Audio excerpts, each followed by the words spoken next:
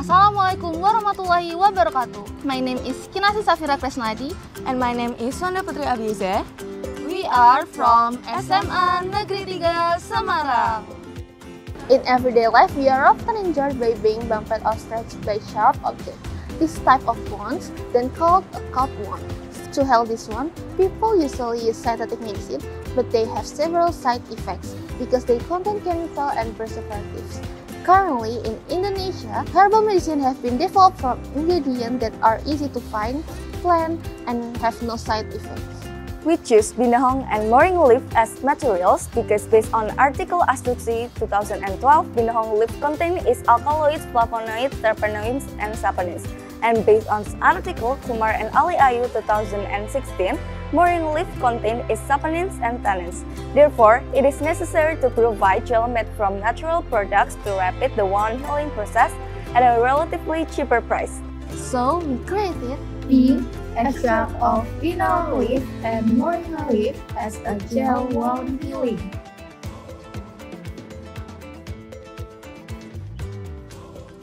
Our research method is experimental by analysis quantitative and qualitative with the following procedure.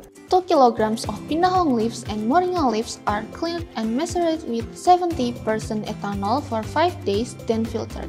The measured is further macerated with 96% ethanol for 2 days then filtered. The final result of the measured is evaporated and then dried to become powder. Binahong leaf extract and moringa leaf extract in powder form is ready to use and stored in a tightly closed container. Secondly, extract formulation. Combine the Binahong leaf extract and moringa leaf extract based on the specified formulation which can be seen on the table. Thirdly, samples are sent to the chemistry laboratory of Universitas Negeri Semarang to be analyzed for its phytochemistry content. Then Laboratory Central Hayati of Universitas Brawijaya to analyze its phytopharmaceuticals and organoleptic. Fourth stage, extract application on mice. Prepare mice aged 2 until 3 months and each mice is injured. Apply gel of binahong and moringa leaf extract using a cotton bed. Gel is applied regularly twice a day at a distance of 8 hours until the wound heals. The final stage was proximate analysis, total plate count, and organoleptic analysis to determine the gel is safe and rich ingredients to enhance the wound healing process. This is the results of leaf and Moringa leaf extract phytochemical analysis.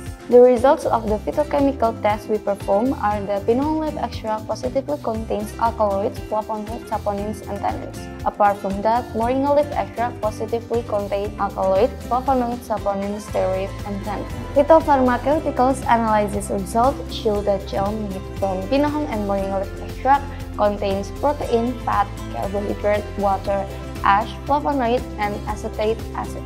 And this is binahong leaf and moringa leaf extract organoleptic analysis result.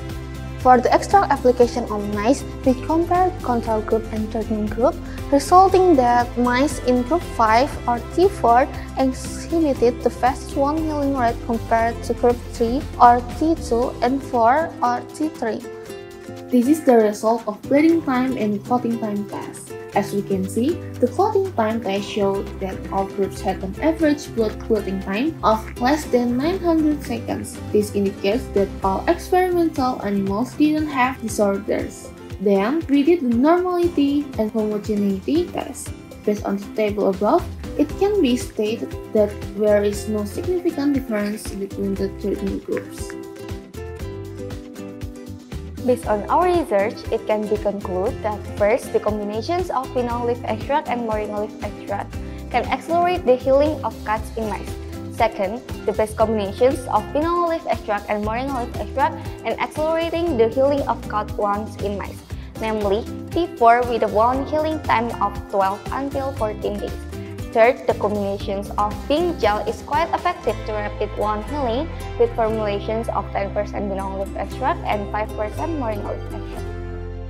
That's all for our presentation and thank you for your attention. We hope that in future research, the natural ingredients used to make gel can be more variety. Wassalamualaikum warahmatullahi wabarakatuh.